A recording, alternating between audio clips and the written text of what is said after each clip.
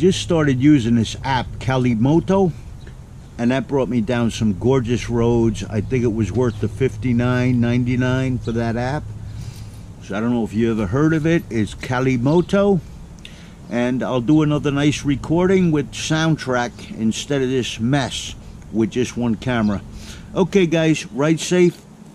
Stay happy out there. Take good care of your bikes. They'll take good care of you. And above everything, take good care of your family and your loved ones. Bye bye. See you soon.